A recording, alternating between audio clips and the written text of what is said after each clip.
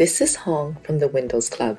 If you wish to enable and use controlled folder access on your Windows computer, then either read through this article on the website or simply watch this video.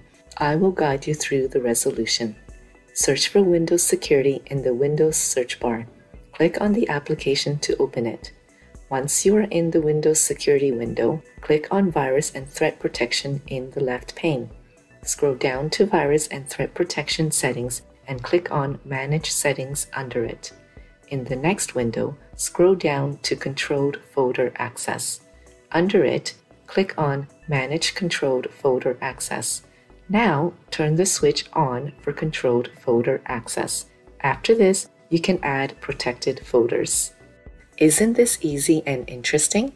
If you have any doubts, please go to the original article on the Windows Club and write your query. We will surely answer it. Thank you for watching this video. Have a nice day!